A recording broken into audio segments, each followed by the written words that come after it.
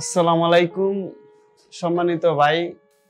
আমি বিপিএসসি হসপিটালে এক সপ্তাহ আগে ভর্তি হয়েছিলাম। আল্লাহর মতো আমি আগের থেকে অনেকটা সুস্থ। আমি যে অবস্থা নিয়ে ভর্তি হয়েছিলাম, এই সময় আমি বেশি একটা হাঁটতে পারতাম না। বেশিক্ষণ হাঁটলে দশ মিনিট হাঁটলে পরে মানে পিন করতো পাওয়ার মাধ্যমে হাঁটতে পারতাম না। এখন আগের থেকে অনেকটাই আমি সুস্থ।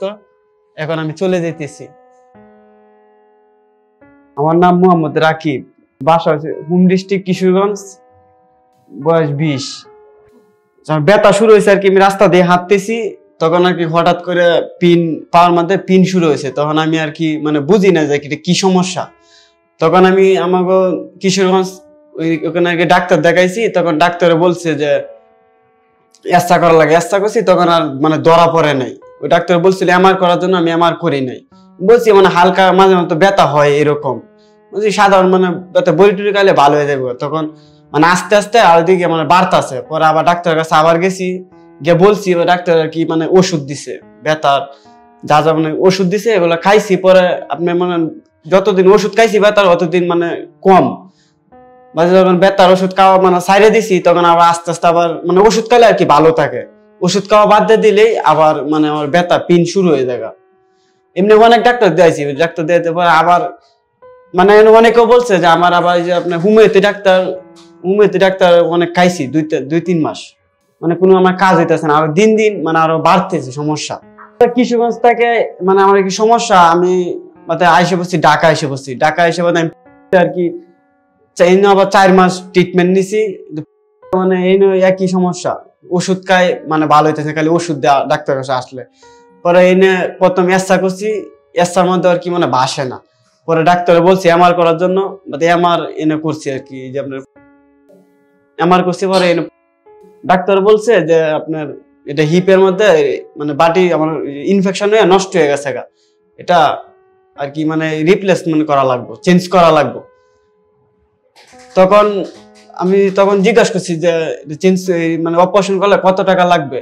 তখন বলতেছে যে মানে তিন লাখ টাকার মতো লাগবে, কষ্ট টষ্ট এরকম বলছে। তখন আমি তখন এক মানে টেনশন ডিপ্রেশনের মধ্যে পড়েছি যে, কি করব? এত অল্প বয়সে মানে আবার ডাক্তার বলতেছে যে, আমি বলছি, যে মনে বলছি যে যে স্যার, এটা কি মানে ওষুধের দ্বারা মেডিসিনের দ্বারা তো ভালো করা যায় না? না, এটা এখন সম্ভব না। এখন এটা আরও কম থাকলে মানে মেডিসিনের দ্বারাতে ভালো হইলে, এখন ভালো হইব না, এটা অপারেশন লাগবো। পরে কি করব? পরে এখান থেকে ডাক্তার ওষুধ দিছে, যে ওষুধগুলো খাইতে তাও আস্তে আস্তে টাকা পয়সা বাও করো, তুমি অপারেশন টাকা পয়সা ম্যানেজ করলে মানে ডেট দিলে অপারেশন করব। পরে আমি থেকে আইসে বসছি অপারেশন করি নাই।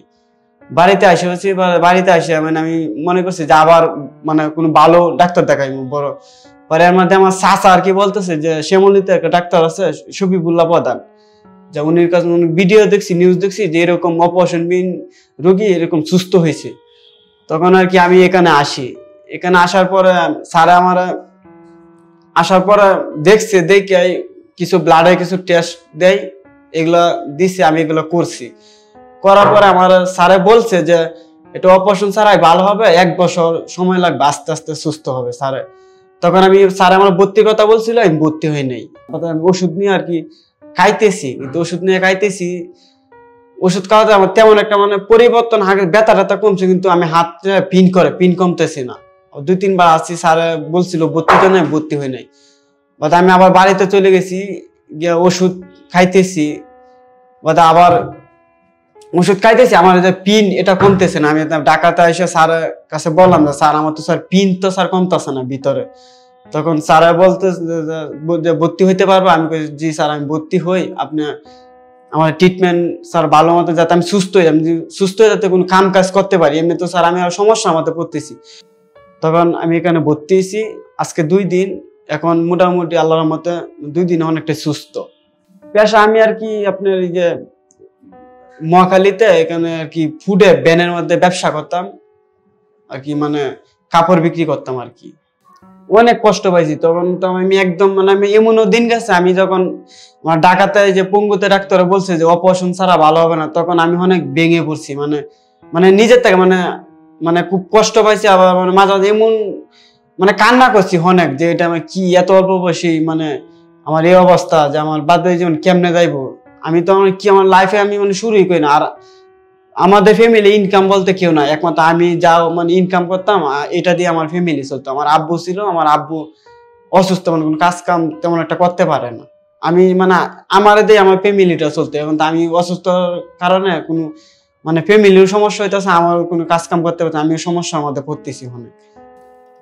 দর্শক, আপনারা, আমি যখন প্রথম দিন ভর্তি হয়েছিলাম, তখন ওই ভিডিওটা মনে আপনারা দেখেছেন।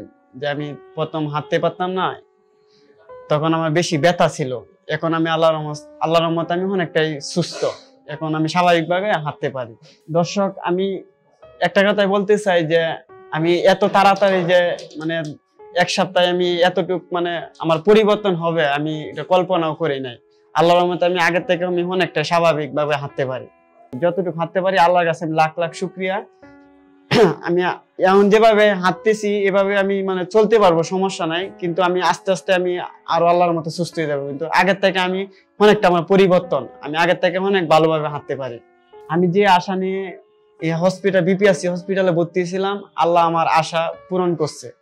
সবাই আমার জন্য দোয়া করবেন যাতে আমি স্যার আমাকে যেভাবে ব্যায়ামগুলা দিছে ওইভাবে আমি ঠিকঠাক মতন ব্যায়ামগুলো করতে পারি, আর আমি যেন বাকি জীবনগুলা মানে সুন্দরভাবে মানে চলাফেরা করতে পারি। সবাই আমার জন্য দোয়া করবেন। যে স্যার অনেক মানে আমার কাছে অনেক ভালো কথাবার্তা, অনেক আমার কাছে অনেক ভালো লাগছে। স্যারের কথাবার্তা অনেক ব্যবহার, অনেক আমার কাছে অনেক ভালো লাগছে।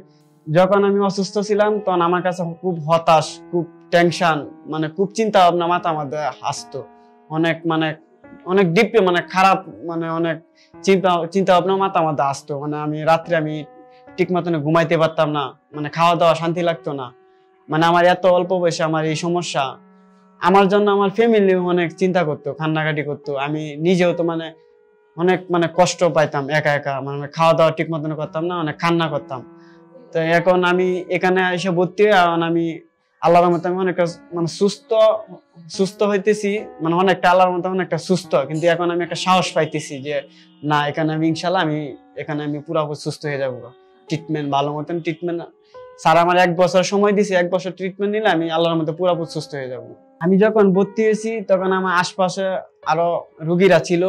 উনি আরও মানে অনেক ভাই আমার পাশে বেডে ছিল। ওনারাও আপনার সুস্থ হইতেছে, সবার কিছু লোক সুস্থ হয়েও গেছে। আর একটা ভাই ছিল, ওই বাইরে আমি আইসে আমি পাইছি।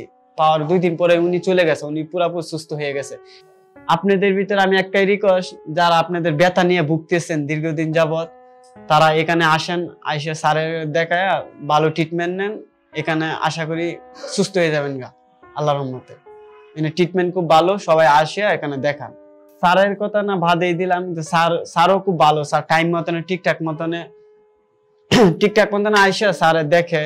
তারপর এনের এনে যারা মানে স্টাফ আছে ওনারা অনেক ব্যবহার, অনেক ভালো, আমার কাছে অনেক ভালো লাগছে, কথাবার্তা। মানে বলতে গেলে আমি এখানে আসছি, আমার ফ্যামিলি কেউ আসে না, আমি একাই।